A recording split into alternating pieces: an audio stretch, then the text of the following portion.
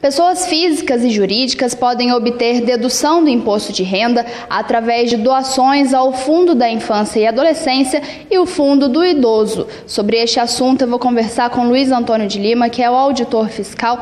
Luiz, como é que funciona essa dedução? Bem, essa dedução tem a previsão legal para dedução no, do imposto devido.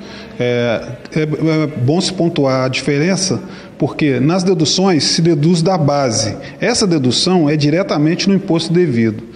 Da criança e do adolescente, que é o que está mais em evidência atualmente por causa da declaração de imposto de renda das pessoas físicas, ele pode ser feito com o depósito em conta vinculada aos fundos, que é feito nas agências bancárias, exemplo, aqui Posto Caldas é na Caixa Econômica, que tem uma conta lá específica, ou, atualmente, com a nova sistemática, pode ser feito diretamente na declaração de imposto de renda.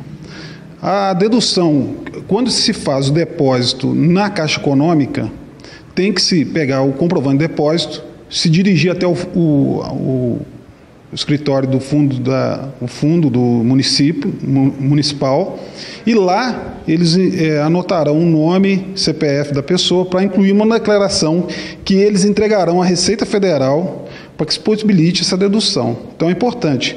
Fez o depósito, se desloca até o escritório do, municipal do fundo para dar conta dessa doação. Quem fizer diretamente na declaração, que pode ser feito agora na, nessa época de apresentação, deverá eh, recolher o DARF, que é emitido no momento da entrega da declaração, e se deslocar ao fundo também para fazer constar que houve essa doação.